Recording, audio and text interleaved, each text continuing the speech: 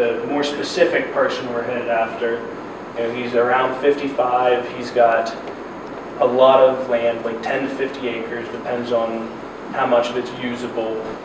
Always doing something, you know, kind of a specific person that has the, already has an existing tractor and commonly abuses it trying to do things with it. These machines cannot go back to mowing your yard when you're done doing your heavy digging. You're stuck with this machine and another one.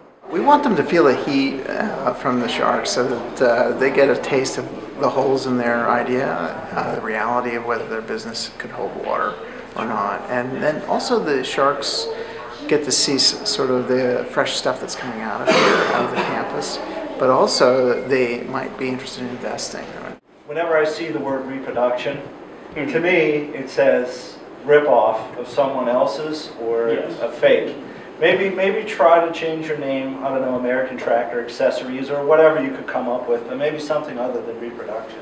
fostering new ideas and entrepreneurship is, is essential to any community. You know, if you want growth, if you want vitality, you have to have those elements. And, you know, so whenever I heard that they were doing this, I really wanted to be involved because of that. Behind this gearbox, the same as a tire with five bolts. And then one set screw changes your front spindle. So you slide that spindle in, tighten the set screw, go back to the back, tighten your five bolts, tension those two rods to keep your track tight and it's on. And the idea is we're trying to build a pipeline of talent out of this region to help with the economic development of the region. We'll do the first initial installation, but from then on, they can switch back and forth as their tasks uh, demand. Of course, we give them business advice on some of their ideas, but what I try to really impress upon them is entrepreneurship is not about just coming up with a great idea, selling it to someone, and driving off in a Porsche. You know? Really want to make sure that they build a, a real kind of sense of what entrepreneurship is and that real passion for what they do. I really thought they did an excellent job, um, and I think they're improving over time. And so the third place winner of $500 is Allegheny Underground.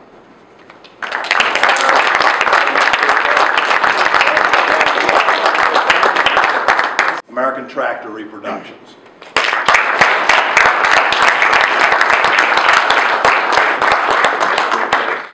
The first time Shark Tank Prize Award uh, held Ponix.